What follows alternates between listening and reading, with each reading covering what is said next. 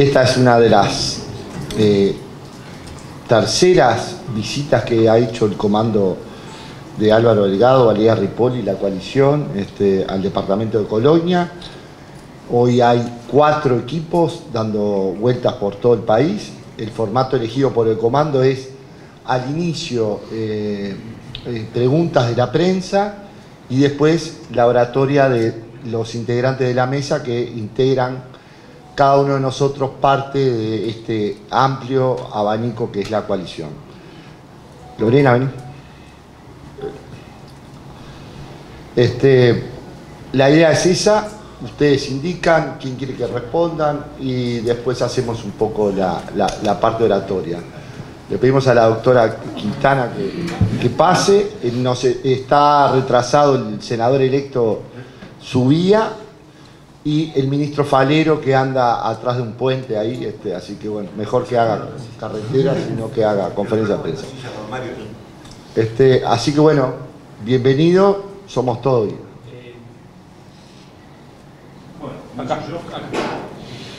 Bueno, buen día. Eh, Ada Silva, ya que está con el micrófono. Eh, las últimas encuestas, las últimas dos que se conocieron, este, que dan un porcentaje al menos de intención de voto para la fórmula del Frente Amplio. ¿Qué análisis hacen ustedes? Si es lo que se quizás imaginaban en las primeras encuestas, ¿piensan que va a cambiar más cerca de la elección? Las encuestadoras han hecho este, de tripas corazón para justificarse el día después de los resultados. Hemos soportado un terrorismo de encuestas durante toda la campaña, un terrorismo real de encuestas, y ahora creo que estamos asistiendo a lo mismo. ¿La culpa es de las encuestadoras? No. La culpa es del voto silencioso que cuando va el encuestador no tiene ni por qué decirle qué es lo que va a votar y muchas veces en Montevideo y en Canelones donde hay un avance este, de barullo del Frente Amplio, prefiere decir que no sabe o que está indeciso para no tener que tener consecuencias a la hora de salir este, de su trabajo, etcétera, etcétera. Lo que hay, la encuesta válida es que hay un montón, así, de 100.000 votos más de la coalición de gobierno que del Frente Amplio. Y eso es lo que nosotros vemos, lo que hemos, este, estamos contratando es una mega, enorme fidelización del voto y no entendemos, porque tampoco la campaña ha tenido demasiadas aristas, este, que haya motivo alguno para poder este, eh, cambiar eh, de voto. No se cambia así nomás en 20 días con el Uruguay este, eh, en la forma en, que está políticamente. Y a Álvaro Delgado este, lo van a votar por amor, sabiendo que es dialoguista, sabiendo que es garantía de, de un presidente estadista y también por espanto. Espanto al peor Frente Amplio, encabezado por Yamandú Orsi, y Carolina Cose y todo lo que tiene atrás. Eso hace que haya una fidelización infinitamente mayor a lo que hubo en el año 2019, eh, en donde la coalición de gobierno no era este, una realidad este, y había una enorme cantidad de prejuicios hacia este, eh, el presidente de la calle de Pou, que después con el tiempo se fue confirmando la estatura que tenía. Si usted dice que entonces los datos de las encuestas no reflejan la realidad. Absolutamente. ¿Qué están haciendo entonces para retener y para conquistar otros votos? Lo que estamos haciendo es eh, eventos como el de hoy. la coalición está desplegada, ¿sí? Eh, es importante representar en una mesa lo que es este, la amplitud de la coalición, no obstante lo cual no es solo lo que estamos haciendo, son este, conferencias de prensa, hay actividades por todos lados. Mañana, por ejemplo, muchos de nosotros nos abrimos de lo que son estos grupos preestablecidos y van a hacer este, eh, eh, recorridas cada uno en sus departamentos. Yo mañana, por ejemplo, hago eh, pueblos de Tacuarembó, pueblos de Río Negro este, y pueblos de Durazno, donde lo que queremos saber es los motivos por los cuales la coalición no votó también. Y eso este, se multiplica por por 100. Este es un partido o un frente verdaderamente grande que nos permite estar simultáneamente en todo el país. Aquí. Acá, senador. Eh, si bien bueno estamos de cara al balotaje, también eh, el pueblo uruguayo ya votó justamente el Parlamento, ¿no? sus integrantes. Y bueno, no hay mayoría, justamente, ¿no? Hablando de diálogo, hablando de, consenso. ¿Y qué panorama ve o qué escenario, dependiendo de quién gane también el balotaje, cómo se va a trabajar justamente en ese ámbito? Eh, las casualidades del cociente decreciente hicieron de que el Frente Amplio tenga una mayoría en el Senado legítima, pero no legitimada en la voluntad popular. Lo voy a volver a decir. Es legítima, pero no legitimada en la voluntad popular.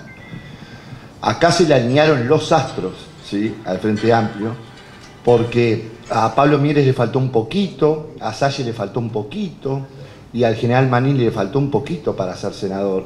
Y el cociente decreciente es relativamente injusto y le da ¿sí? este, una mayoría por cinco años que no se vio reflejado en las urnas. Las urnas hablan de que hay 100.000, 90 y pico mil votos más este, de lo que, eh, de lo que este, eh, sacaron el Frente Amplio. Y el 43 y algo por ciento no es la mayoría absoluta que debería reflejarse en el Parlamento.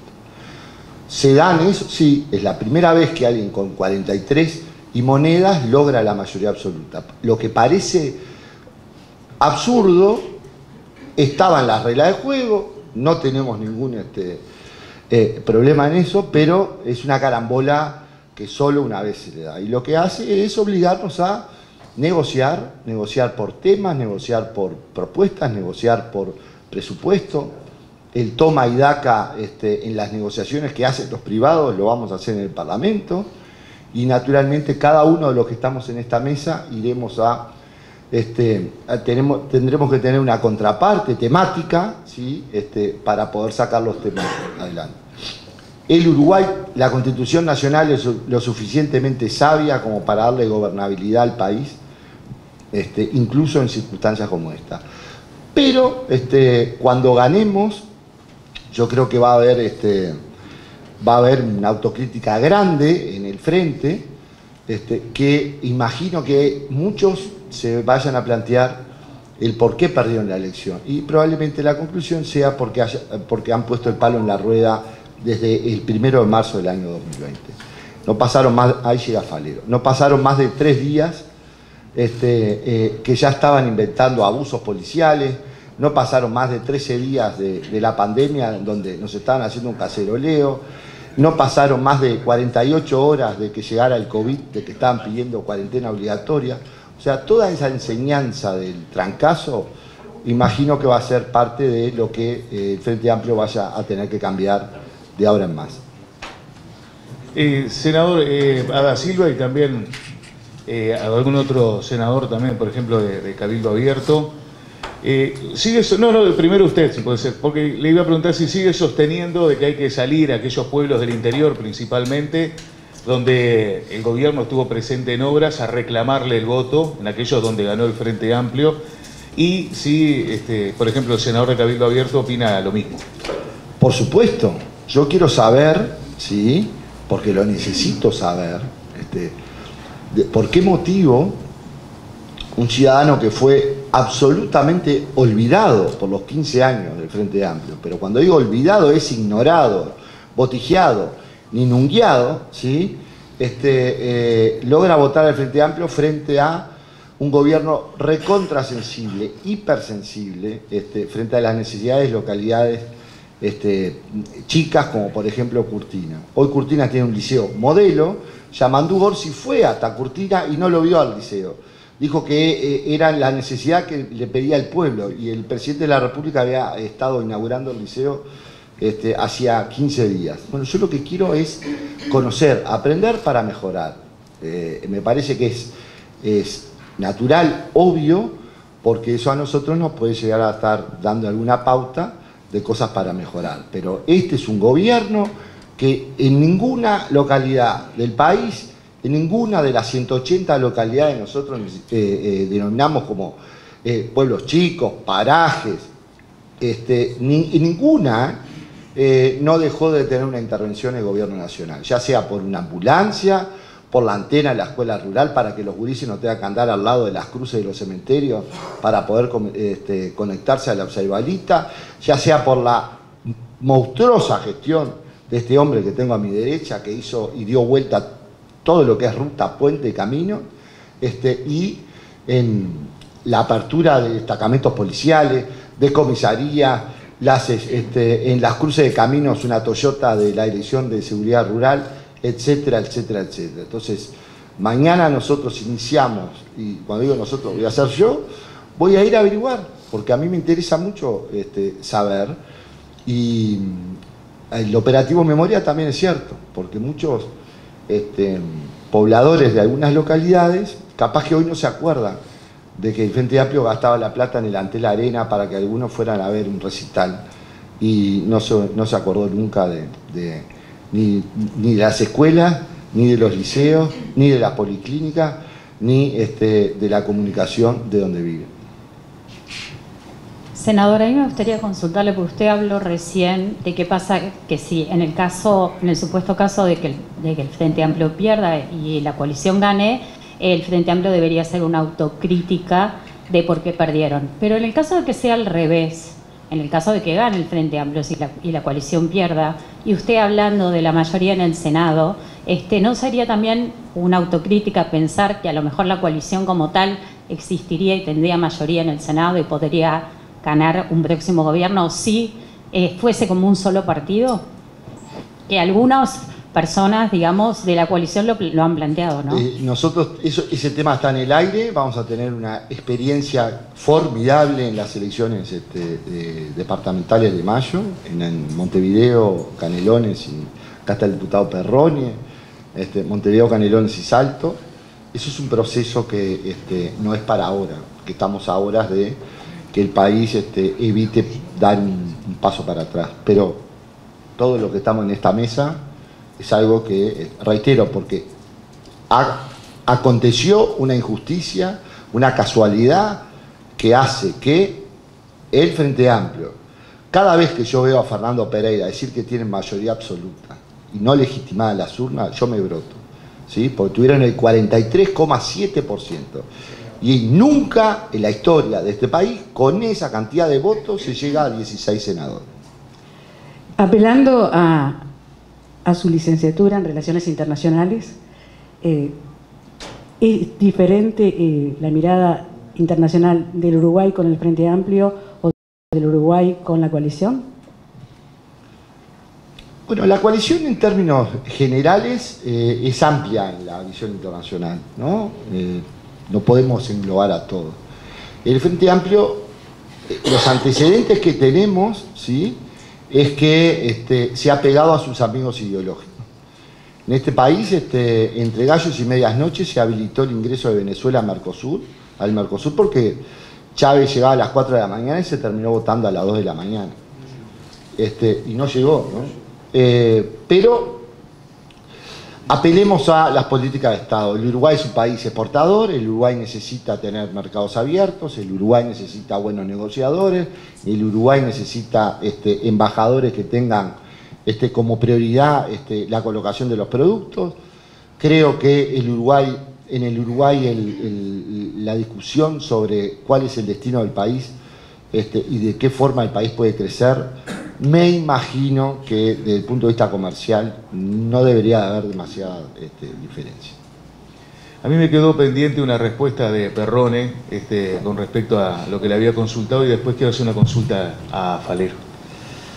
¿Qué tal? Buen día. Nosotros estamos yendo a hablar con todos.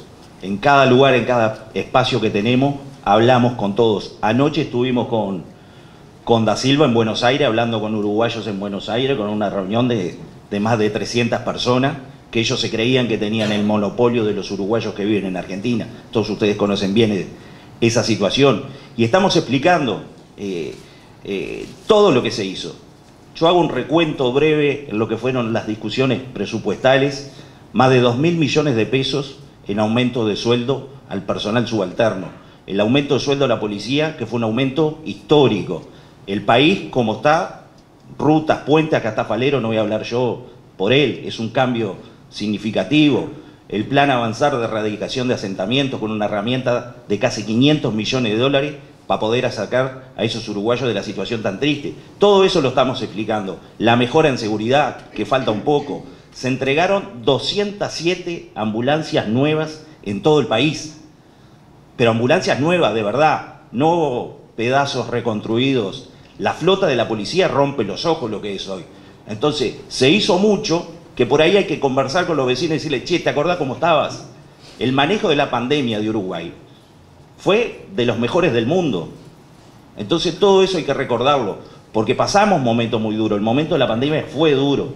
Y ahora hay que hablar con todos los uruguayos, con cada uno, explicando todo esto que se hizo, porque la verdad que se hizo mucho y queda mucho por hacer y lo vamos a lograr hacer, porque cuando entramos en este gobierno nos encontramos con la pandemia claramente y también con desniveles presupuestales que hubo que enfrentar, como fue sigo hablando para el ministro de Transporte, como fue el ferrocarril central, que las discusiones presupuestales fueron muy importantes porque había que cumplir, y si hay algo que tiene Uruguay es que cumple, que cumple las reglas, y eso es uno de los principales elementos de destaque a nivel internacional. Todo eso lo estamos hablando con los vecinos y lo vamos a hacer hasta la última hora de, la elección del balotaje. Bueno, quería consultarle al ministro Falero. Estuvo en, una entrevista con, el diputado por Colonia del Frente Amplio, hace referencia cuando, usted refiere a un shock de, infraestructura, digamos, a, la inversión récord en infraestructura vial que ha tenido el Uruguay en este periodo, y se afirma de que, eh, bueno, es una que eso se va a pagar, eh, lo va a terminar pagando el próximo gobierno, inclusive el otro, que se, se financia los próximos 10 años. Quiero saber si es así o qué monto del total invertido queda financiar en los próximos periodos de gobierno? Bien, eh, primero que nada, buenos días a todos y disculpen la, llegada tarde. Sin duda que es un tema que yo lo expuse en ADM y creo que algunos de los que estuvieron acá estuvieron presentes. Nosotros tuvimos, este, tenemos una inversión récord que no se recuerda en la historia del Ministerio como consecuencia de la necesidad que tenía la red vial, ¿verdad? Teníamos una red vial totalmente eh, eh, deficitaria con respecto a la necesidad que tenía el parque automotor y fundamentalmente eh, la carga que ha venido creciendo en los últimos años. Eso llevó a ser una inversión este, de más de 230 puentes, el 80% de las rutas se han intervenido, en algunas haciéndolas a nuevas, en otras reparándolas y mejorándolas, nos queda mucho. Y, este, y toda esa inversión que se hizo eh, nosotros vamos a terminar pagando el 40% en este periodo y vamos a estar dejando en el entorno de los 2.400 millones de dólares financiados en, algunos casos a 10 años por los CREMAF y en otros casos a 20 años. Con un diferencial enorme, ¿verdad? Eh, la última administración nos dejó 4.000 millones de dólares de endeudamiento, que obviamente ya estamos pagando, pero también nos dejó las rutas mal construidas, que las tuvimos que volver a reconstruir. Y tenemos ejemplos de eso en todo el país. Acá muy cerca, en la Ruta 54, ustedes habrán visto que la estamos haciendo totalmente nueva. Lo que no va a dejar esta administración es este, obras viales mal hechas. Y eso es un diferencial y es un ahorro que van a tener las nuevas administraciones, porque en estos 10 y 20 años, de acuerdo al sistema de financiamiento, tanto CREMAF como PPP, está incluido ahí el mantenimiento y en caso de que las empresas no cumplan con ese mantenimiento, directamente no cobran la obra. Es un diferencial no menor, que es una política de Estado que ha incorporado el gobierno de coalición desde el primer día. Hagamos lo que hay que hacer, pero hacerlo bien. Y, este, y si hemos dejado menos deuda, hemos dejado más obra, ojalá hubiésemos recibido esa realidad nosotros cuando asumimos. No solamente no, no, recibimos obras en buenas condiciones, sino que nos faltaba la enormidad para poder adecuar la reglamentación de tránsito que tiene estipulado una tipología de carga tuvimos que, como te decía, intervenir en 230 puentes. Ahora vengo de, visitar el puente de Mercedes. Un ensanche de 11 metros 20. ¿Por qué razón? Porque la maquinaria vial ahora permite que pueda circular sobre el puente y a su vez no corte y no paralice y no genere un tapón. Y de paso, llegué un poco más tarde porque me vine a visitar también el puente San Salvador que viene a gran ritmo. ¿Es un diferencial? Yo creo que sí, y eso la gente lo tiene que valorar en el buen sentido de la palabra. No es que, no es que seamos ninguno de los que estamos acá fenómenos.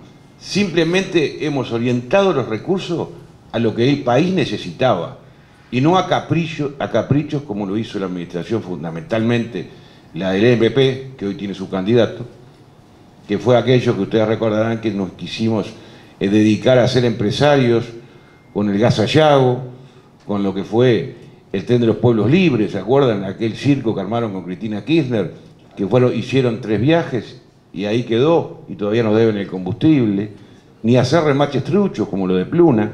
Hay un diferencial enorme. Nosotros hemos invertido los dinero de la gente eficientemente, con mucha responsabilidad, si no de lo contrario no lo hubiésemos podido hacer. Porque fíjense que tuvimos algo que no estaba previsto. 4.400 millones de dólares nos llevaron a distintas crisis. Pandemia, sequía, todas las que ustedes saben. Tuvimos emergencia agropecuaria cuántas veces que pasó por el Parlamento. Tres veces. Nunca dudó el gobierno en poner en marcha. ¿Se acuerdan lo que era antes la emergencia agropecuaria, no? ¿Se acuerdan cuando algún ministro de Ganadería volaba y decía que estaba todo verde y estaba todo seco y no aplicaban la emergencia agropecuaria en algún momento? Me acuerdo de Agassi, escucharlo en su momento. Bueno, este gobierno no titubió. No titubió. Estos días que estamos recorriendo desde ayer con, con el amigo Subía, con, Lorena, que la veo por allá, este, estaba también este Radio y ahora se incorporó Rodríguez eh, del Partido Independiente. Nos hace a todos los que estamos acá, la verdad, nos hace salir de la cancha a mirar a los ojos y estar convencidos de que hemos hecho el mayor de los esfuerzos en estos cuatro años y ocho meses con dos de pandemia. Y que el Uruguay hoy está distinto y nadie lo puede negar. Por eso salimos. Porque podemos salir a la calle a mirarlos a los ojos y decirle la verdad. Lo que hemos hecho y lo que queremos es que nos comparen. Errores podemos tener siempre, pero que nos comparen en cada, en cada uno de los temas. Y en la parte nuestra que me compete de infraestructura no es solamente esto. Digo, si ustedes han visto lo que es también la temática de puerto, o no recordamos lo que era el puerto de Colonia antes y lo que es hoy. Es una realidad totalmente distinta. Hemos trabajado en todas las áreas portuarias que compete también al Ministerio. Así que yo, a ver, deuda, para tu pregunta concreta, dejamos menos. Más obras, menos deuda, menos problemas para los que vendrán. Y quiero aclarar algo, porque está establecido nuestro programa de gobierno, que lo tengo en el auto y, para acá, voy a dejar acá ahora, eh, está establecido también una inversión similar a esta, porque aún nos queda mucho. Canelones, que tengo perrones. ¿Cuántas obras en Canelones? Olvidadas, olvidadas. La 33, la 81, bueno, la que la 63, la que miremos, la 86. Hemos trabajado en todas. Y eso que estaba ahí y no se veía, no sabemos por qué. O no les interesa. Obviamente el interior profundo había sido el gran olvidado todo esto, ¿no? Sin duda que el interior profundo ha sido el gran olvidado. Nosotros logramos este, cumplir un sueño de más de 60 años, como fue el puente de la charqueada, y, hay un antes y un después. Así que, a ver, en lo que quieran preguntar sobre intervención del Estado favorable y positiva que ha hecho este gobierno de coalición, estaríamos horas hablando acá, y, y le es muy difícil al Frente Amplio este, enfrentar estos temas. Por eso se han ocultado mucho y por eso hay pocos ámbitos de, debate. Ojalá tuviéramos mucho más, como decía Perrone, porque podemos estar horas y con una ventaja enorme, ¿no? Estamos hablando de cuatro años y ocho meses contra 15 del Frente Amplio. Y los 15 del Frente Amplio se caracterizaron por tres temas.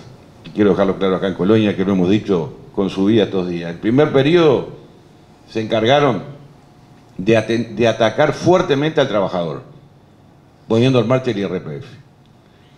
Después que hicieron caja, en el segundo periodo se dedicaron a malgastar los dineros públicos, como lo fue el periodo de Mujica. Y el tercer año se dedicaron a hacer la plancha, a dejar al país eh, sin crecimiento, con un, con un déficit del 5%, con una inflación al doble la que tenemos hoy y con una desocupación del 10%. Perdimos 50.000 puestos de, de, trabajo. Este gobierno ya recuperó 100. Tenemos que ir por más. Es, esa es la salida. Una política social exitosa, como decía Lorena, no es solamente atender a los más desprotegidos, también hay que darle la oportunidad de salir adelante. Y en épocas duras como las que tuvimos acá, y ustedes recordarán que acudimos a los intendentes y generamos en un momento muy difícil hasta los jornales solidarios. Hay muchas cosas que pasó por el Parlamento en tiempo récord, recuerdo, se aprobó y la gente le da la oportunidad. En este programa, que obviamente le vamos a dejar a toda la prensa, Está todo lo que se acordó. ¿Y sabe qué, por qué algunos dudan de por qué fue tan rápido ponernos de acuerdo? Porque estamos gobernando en coalición. Hoy estamos todos. En la política vivienda que está Cabildo abierto hoy, este, cortando cinta todos los días, en lo que fue salud pública con la pandemia, con Daniel Salinas, en lo que ha sido la política de turismo con el Partido Colorado, en lo que es el Ministerio de Ganadería, en todos los partidos que participamos, bueno, sin duda lo que fue Pablo Mier en el Ministerio de Trabajo, tenemos orgullo de lo que hemos hecho y tenemos que defenderlo y por eso estamos saliendo a todo el país. Nosotros acá, andan otros por el norte, hay cuatro equipos de trabajo recorriendo porque queremos hablar de estas cosas y queremos que nos comparen, a diferencia de lo que está haciendo el Frente Amplio, que es proponer como siempre, y la propuesta que yo he escuchado, venía escuchando a Orsi, es que en cada tema, la propuesta del Frente Amplio es un tema preocupante. Tenemos que generar un diálogo social. Tuvimos 15 días, 15 años con diálogos sociales, no resolvieron el tema de la educación, no resolvieron el tema de la seguridad social. Esto es muy claro. O retrocedemos o avanzamos. Lo que estamos acá estamos prontos para el 2 de marzo seguir trabajando. ¿No le parece? Si me permitís, porque yo ayer vine de Buenos Aires y no lo podía creer. Ustedes ven que este, en el Frente Amplio hay una hay un lengue-lengue ahí que ya hasta ellos mismos están mareados. ¿Qué van a hacer con la zafama? Odone tiene la misma palda que un foforito y dice que no sabe cómo es lo que va a hacer. El Partido Comunista y los sindicatos apretan a Orsi. Orsi eh, balbucea y no sabe bien lo que van a decir. Pero anoche, anoche, dijo algo que me parece que quedó medio borrado. Es que el término nacionalización de la SAFAP, que es el eje del problema, que es lo que hicieron los Kirchner y después empezaron con todos los líos posteriores, capaz que era un error ortográfico en el programa de gobierno. Eso lo dijo este, Yamandú Orsi anoche. En este programa está chequeadito, corregido y comprometido. No hay errores ortográficos. Era lo que le quería. Para el doctor Subía, bueno, apelando a su expertise como es fiscal, pero además un tema que usted ha tratado recurrentemente, y quiero dos temas. Uno tiene que ver con el Ministerio de Justicia propuesto y otro tiene que ver con los dichos del doctor Jorge Díaz acerca de que el doctor Lacalle no buscó acuerdos para nombrar un fiscal de corte. Bueno, muchas gracias. Buenas tardes a todos, o buenos días todavía. Llegamos un poco tarde porque se complica a veces la carretería de, de este departamento tan hermoso, pero complicadito para el manejo de los que no sabemos. Bueno, concretamente, hablábamos de la Fiscalía y hablábamos del Ministerio de Justicia. Una de las cosas que buenas que tenemos es que somos coalición, no somos unanimidad. Creo que hay que distinguir entre esos dos conceptos, unanimidad o coalición. Con el Ministerio de Justicia y con algún otro tema podemos no estar de acuerdo con otros compañeros de la coalición. Yo estimo que el Ministerio de Justicia no es que sea malo de por sí, sino que en este momento puede ser inapropiado porque es una estructura burocrática a superponer sobre básicamente dos estructuras burocráticas que no están funcionando. Una es la Fiscalía de Corte y la otra es cárceles. Son dos estructuras que hay que abordar, a mi juicio, en forma parcial, en forma independiente, para luego eventualmente superponer la estructura Ministerio de Justicia. Esa es mi posición, que es no superponer, sino a, avanzar sobre las mejoras que independientemente tiene que tener la Fiscalía y cárceles. Sobre Fiscalía, yo estoy en debe, y está en debe conmigo el Parlamento, porque hay un proyecto presentado hace años y que no obtuvo, lamentablemente a mi juicio, no obtuvo las unanimidades para echar para adelante. Sobre eso voy a seguir trabajando en la segunda etapa que comienza o va a comenzar ahora en breve. Y la otra pregunta hacía referencia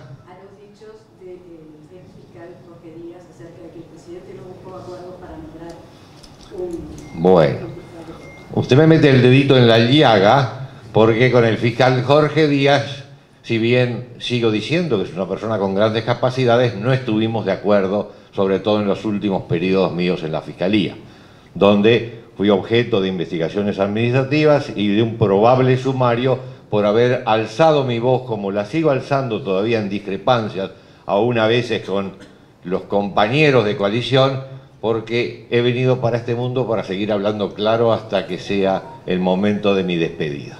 Bueno, con Jorge Díaz no tuvimos las mejores relaciones.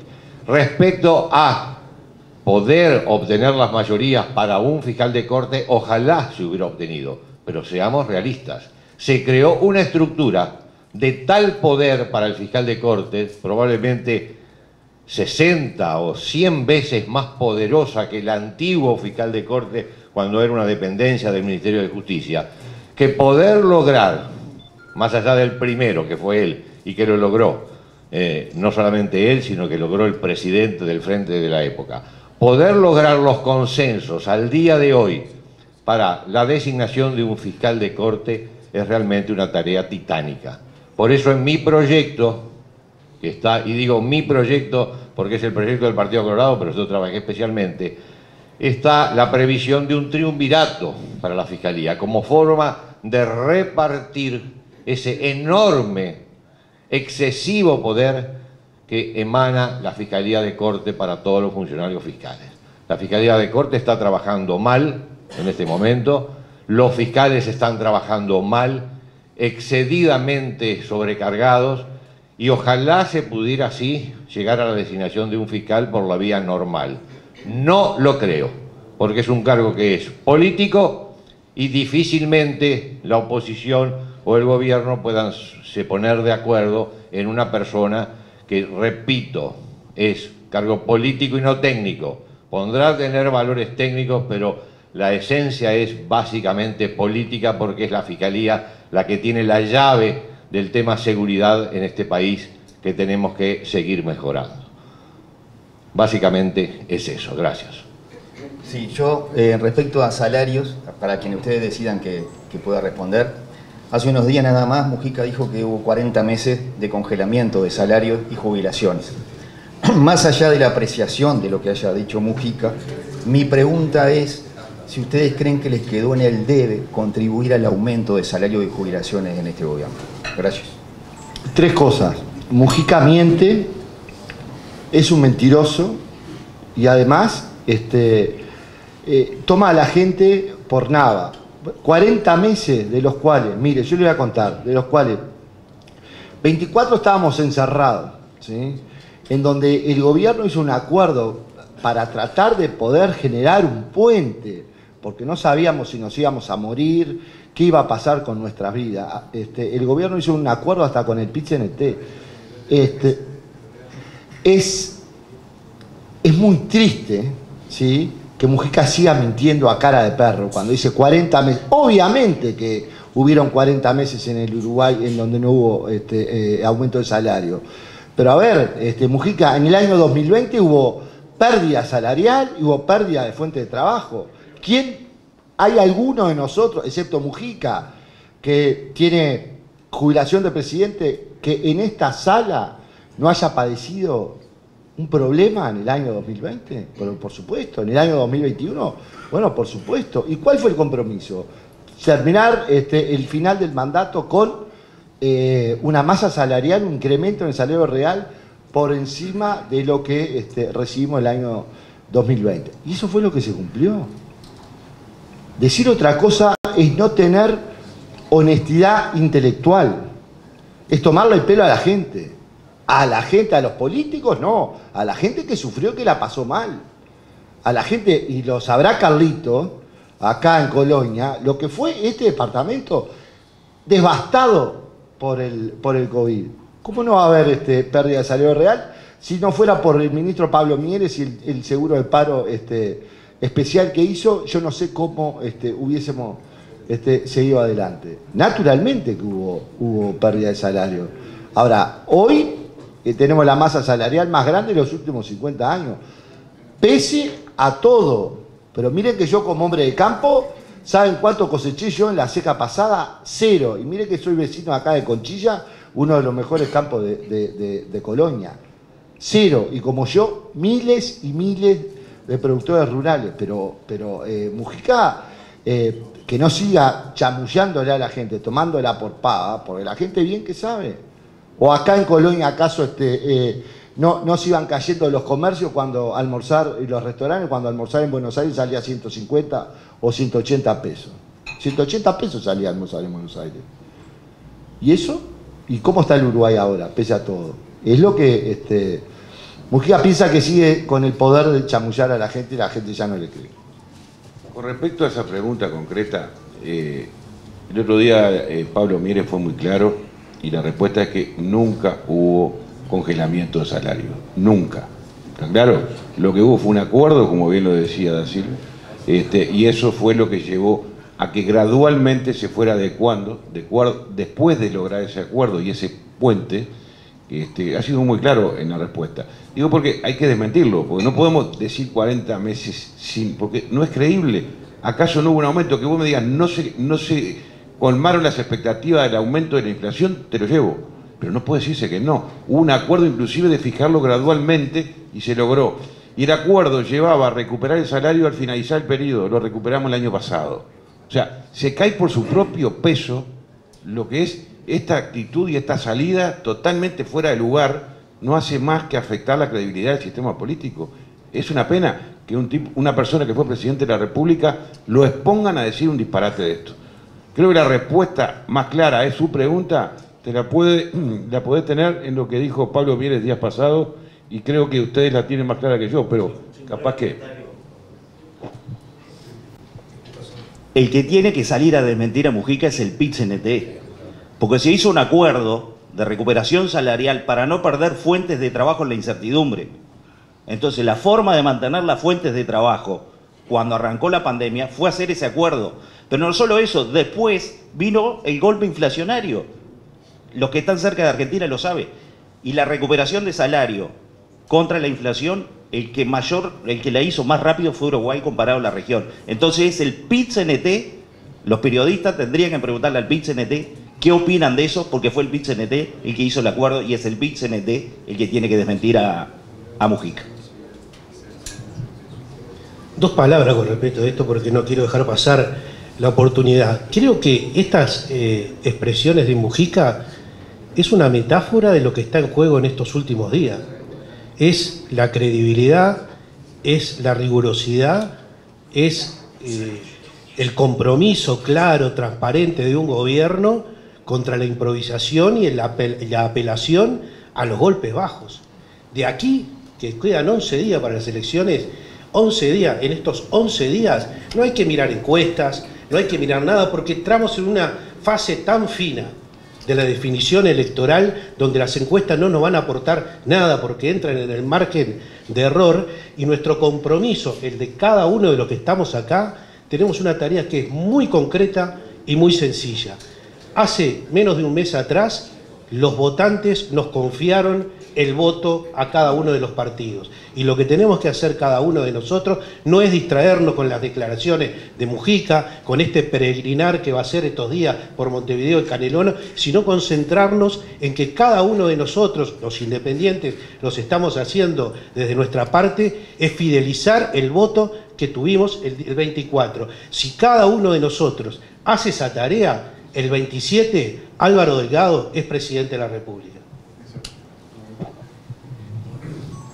Bueno, muy bien. No sé si hay alguna pregunta. Caramelo surtido. Lorena, arranca usted a conversar y la pregunta. Ahí Y aprovecho a tocar un tema que además no se habló, que un tema que no es menor porque es un problema grave que tienen muchos uruguayos o muchas familias uruguayas. Me tocó ser la directora del programa de salud de adolescencia y juventud del Ministerio de Salud Pública en esta administración. En el 2019 se hizo una encuesta en Uruguay que mostraba que uno de cada cinco de nuestros adolescentes había pensado seriamente en quitarse la vida. Un tema no menor que hoy tenemos en Uruguay, un problema grave que tenemos en Uruguay es la salud mental y las adicciones. Cuando miramos las cifras de quiénes son los que piensan en quitarse la vida, la mayoría de las por edad, el pico más alto, es en adolescentes y jóvenes en números absolutos. Un tema no menor es la salud mental. Es verdad, el Frente Amplio en aquel entonces se generó la ley de salud mental, pero no pusieron un solo peso para políticas de prevención, de abordaje y de rehabilitación para esta temática. Sin embargo, esta administración de gobierno puso 20 millones de dólares para que tanto la Junta Nacional de Drogas, el Ministerio de Salud Pública, ACE y el MIDES podamos generar acciones que hoy las pueden ver todos, porque se crearon numerosas camas para rehabilitación, para tratamiento, porque se crearon nuevos lugares de acceso, porque se empezaron a implementar programas de prevención, como el programa Familias Fuertes que está en Colonia, como el modelo islandés de prevención que eligió cuatro departamentos del país para implementarse y Colonia fue uno de los lugares que se empieza a implementar. Entonces, una de las cosas no menor que tiene nuestro país y que además lo tenemos a las personas que más queremos, nuestros hijos, nuestros nietos, nuestros sobrinos, nuestros hermanos, es el problema de la salud mental. Y no queda duda que fue esta administración la que realmente puso el dinero necesario para iniciar la respuesta a esta problemática en Uruguay. Creo que es un tema que no se trató y que no es menor. Es buenísimo cortar cintas, es espectacular, pero cuando este tema afecta a una familia, sin duda que es un tema que supera a todos los demás y fue esta administración que dio respuestas y que está avanzando. Hay mucho más para hacer, sin duda que hay mucho más para hacer, como la telemedicina para mejorar el acceso a la atención en salud mental. Y me mira la directora departamental de salud y me dice que sí, pero este departamento también está avanzando en eso. Creo que se han dado señales que este tema no es menor, que lo hemos tomado como parte importante y que se hizo un apoyo muy importante de dinero para poder llevar adelante las políticas públicas relacionadas al tema. Antes se me quedó nombrar Marcos Laen, vicepresidente del Banco Hipotecario, que fue este gobierno también que encontró la solución a los deudores del Banco Hipotecario, que venían luchando hace muchos años. Así que nos quieren decir ahora que ellos tienen la mayoría en el Senado y que no vamos a poder gobernar. Les pongo el ejemplo de Estados Unidos, nada más y nada menos. Obama gobernó Estados Unidos sin mayoría y no pasó nada. La principal ley en este gobierno que nos llevaron a un referéndum fue la LUC. De 472 artículos, el Frente Amplio votó 236, votó la mitad. Claramente que vamos a poder gobernar, porque no se van a poner, no van a poder oponerse a todo porque hay temas muy sensibles que les interesa a toda la sociedad y lo van a tener que votar. Y si no, como dijo Da Silva, hay otros mecanismos para gobernar. Nosotros estamos firmes, venimos avanzando, estamos prontos para seguir, por eso le pedimos a toda la población que nos dé esta segunda oportunidad para llevar adelante el próximo gobierno y que Álvaro sea presidente y Valeria su vicepresidente. Muchas gracias.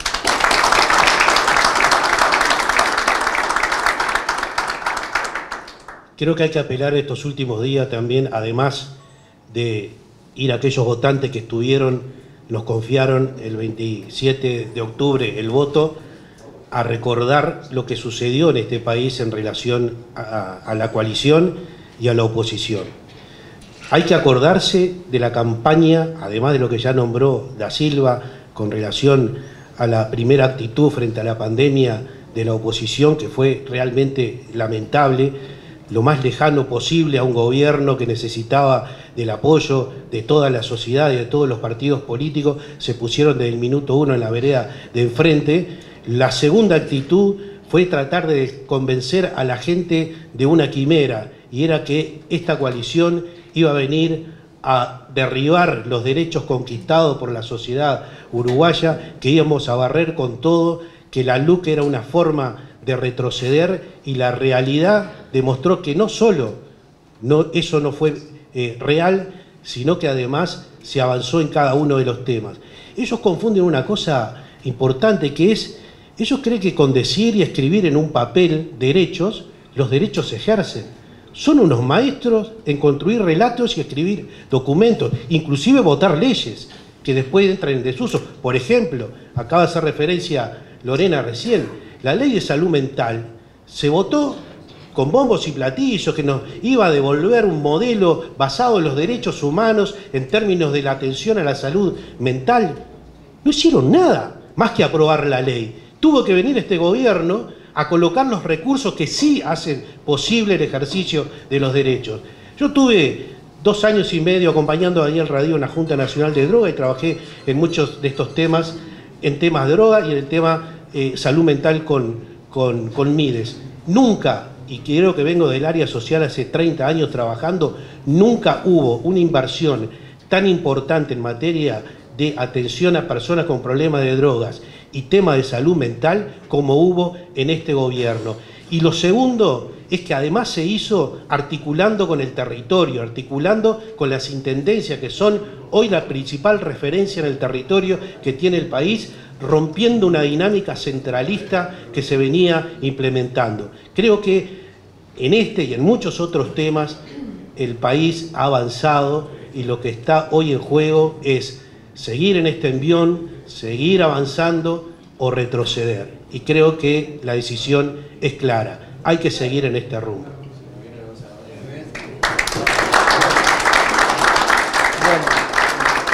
Bueno, cerrando esta interesantísima rueda que hemos conformado, le doy la bienvenida al señor ministro, señores senadores, diputados, representantes de los partidos de la coalición y los medios de prensa que hoy se hicieron presentes para transmitir lo que es nuestro pensamiento, nuestros objetivos, nuestras prioridades.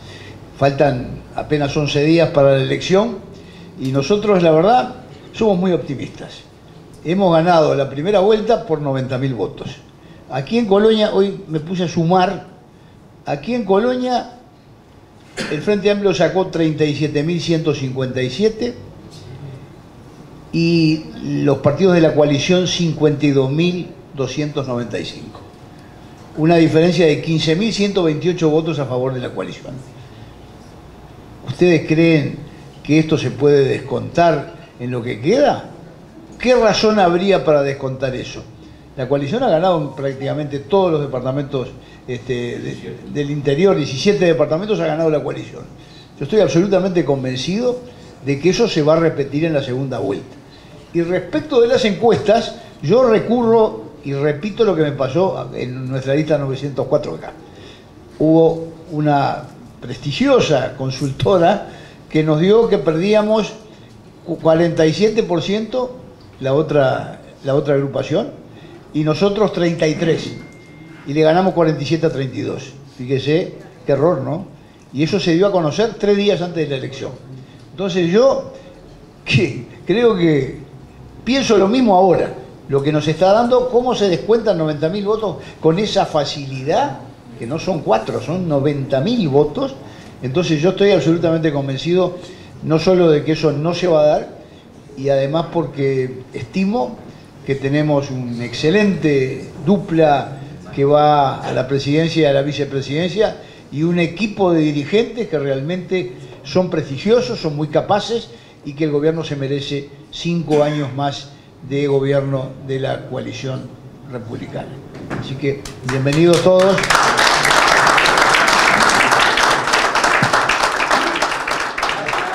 Discúlpeme que, ayer me lo, me lo hicieron ver en Soriano, eh, este, que tiene que ver con las cooperativas de vivienda, ¿no? Y las tasas que este gobierno, hacía más de 20 años se venían reclamando la reducción de tasas y el Frente Amplio no lo hizo. Digo las cooperativas porque generalmente son más este, votantes del Frente Amplio y tuvo que venir este gobierno de coalición a bajar las tasas. Y lo hicimos como lo hicimos lo del banco hipotecario que se mencionó. Digo esto porque ya que nos están mirando los cooperativistas, este gobierno de derecha o de centro o lo que, nos mencionan, hizo lo que no hizo un gobierno de izquierda durante 15 años, achicarle en el bolsillo, eliminar las deudas del banco hipotecario y otras tantas cosas más. Digo para que quede registrado porque sé que alguno de cooperativistas me va a estar mirando y bueno, y por lo menos tenga el reconocimiento hacia este gobierno de coalición que atendió un reclamo viejo de más de 20 años.